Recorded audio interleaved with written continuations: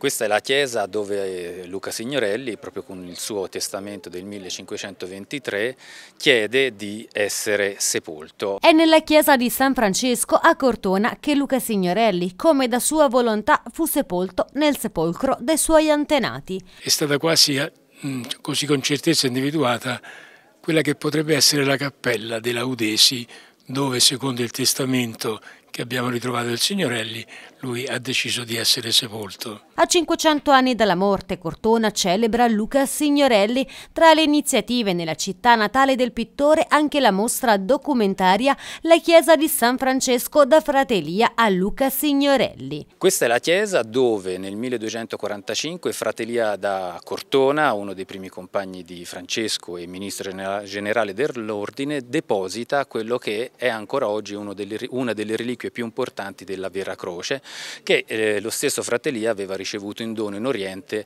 nel, nell'ambasceria che lui stesso aveva eh, effettuato per conto di Federico II.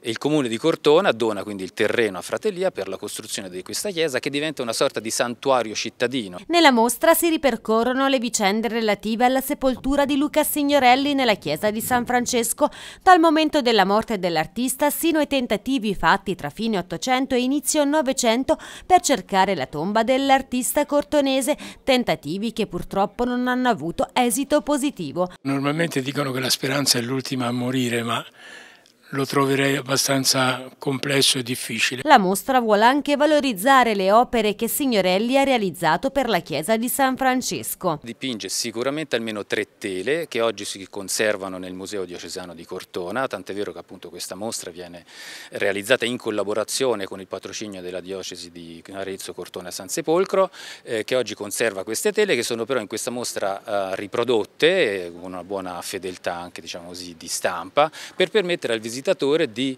eh, almeno ricostruire visivamente quella che originariamente era appunto la chiesa di San Francesco al tempo di, di Luca Signorelli.